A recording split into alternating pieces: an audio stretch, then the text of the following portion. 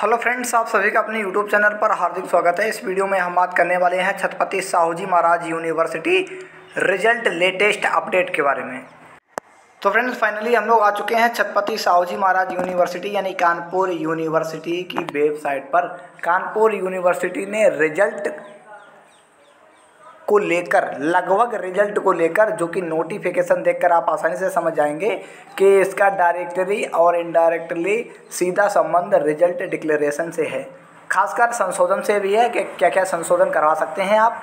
तो फ्रेंड्स अगर चैनल पर पहली बार विज़िट कर रहे हैं तो तुरंत चैनल को सब्सक्राइब कर लें बेल आइकन के साथ साथ आल के बटन पर क्लिक कर लें जैसे कि सारी इन्फॉर्मेशन आपके पास सबसे पहले और फ्री में पहुँचती रहे। तो चलिए फ्रेंड्स वीडियो को स्टार्ट करते हैं। तो फ्रेंड्स, ये देखिए लेटेस्ट नोटिफिकेशन कानपुर यूनिवर्सिटी की वेबसाइट से आसानी से आप डाउनलोड कर सकते हैं। जिसका लिंक आपको इस वीडियो के डिस्क्रिप्शन बॉक्स में प्रोवाइड किया गया है।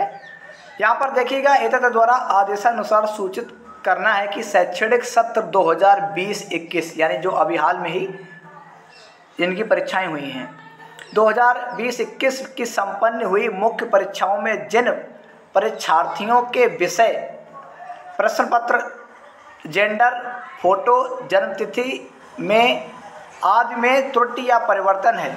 ऐसे परीक्षार्थियों का विवरण समस्त तथ्यों सहित संबंधित महाविद्यालय द्वारा अधो हस्ताक्षरी के कार्यालय में दिनांक 25 आठ 2021 तक उपलब्ध कराने का कष्ट करें, जिससे कि उक्त के संबंध में अग्रतर कार्रवाई सुनिश्चित की जा सके।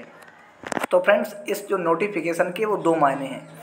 सबसे पहले मायने है करेक्शन का कि जो भी स्टूडेंट है जिनका आ, कुछ भी गलत है यानी अगर फ़ोटो नहीं आपकी सही से आ रही है आपका जो एडमिट कार्ड है उसमें जो एडमिट कार्ड आपका जारी हुआ उसमें आपका उसमें विषय कुछ गलत है उसमें आपका जेंडर गलत है या फिर उसमें आपके प्रश्न पत्र गलत है यानी आपके सब्जेक्ट गलत हैं।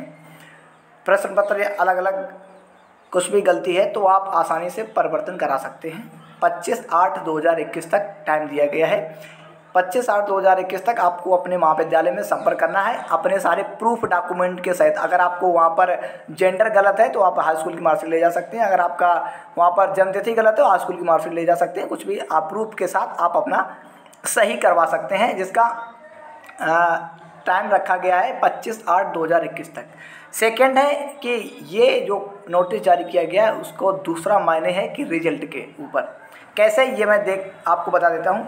यहाँ पर सब कुछ लिखा है कि सारे डॉक्यूमेंट सहित आप 25 आठ 2021 तक उपलब्ध कराने का कष्ट करें। कानपुर यूनिवर्सिटी ऐसी कतई नहीं चाहेगी कि रिज़ल्ट डिक्लेरेशन होने के बाद स्टूडेंट लगातार आवाज़ उठाएँ कि नहीं, ये हमारा फ़ोटो गलत आ रहा है, इसमें हमारा जेंडर गलत आ रहा है, इसमें हमारा विषय गलत आ रहे हैं, कानपुर यूनिवर्सिटी ऐसा नहीं चाहेगी। इसलिए कानपुर यूनिवर्सिटी ने पहले ही स्टूडेंट को ये मौका दिया है कि आप अपना स्वयं जाकर अपने महाविद्यालय से ये सही करवा सकते हैं। यानी इसका सीधा सीधा मतलब है आपके रिज़ल्ट के बारे में कि आपका रिज़ल्ट 25 आठ 2021 के बाद ही डिक्लेयर होने वाला है।